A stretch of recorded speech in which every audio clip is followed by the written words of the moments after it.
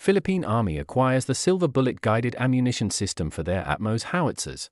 This is a bit of a late post, but better late than never.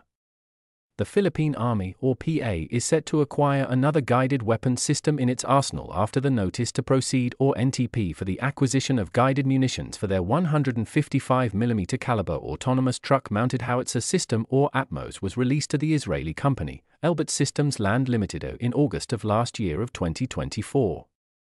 The contract is worth 248.19 million Philippine pesos, or around 4.26 million United States or US dollars assuming an exchange rate of 58.21 pesos per dollar.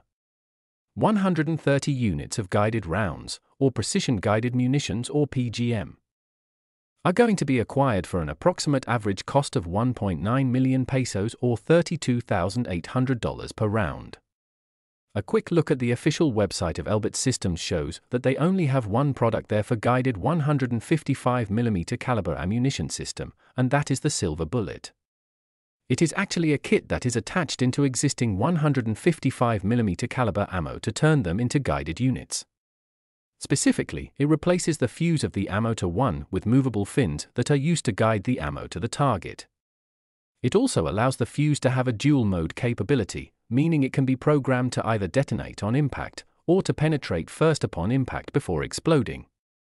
The guidance system used is Global Navigation Satellite System or GNSS, specifically the US made Global Positioning System or GPS with an accuracy of 20 meter circular error probable or CEP, meaning half of the rounds fired is expected to hit within a radius of 20 meters of the target.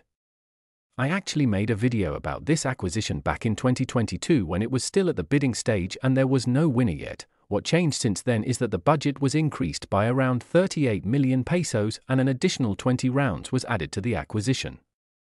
These were originally intended for use also with the PA's M71 howitzers, but that was changed to be used for the Atmos units only. 130 rounds for a dozen Atmos howitzers means an allocation of around 10 to 11 rounds for each of those howitzers, assuming that they will be evenly distributed among them. That's not a lot, but remember that Elbit estimates these silver bullet rounds to be 2 to 5 times more effective than conventional rounds, meaning that it will take only one round of this guided ammo what usually takes 2 to 5 rounds of non-guided ammo to hit. Remember also that the farther at target is, generally the less accurate the non-guided howitzer ammunition will be. But with these guided ammunition, their accuracy remains the same no matter how far the target is as long as it can reach it.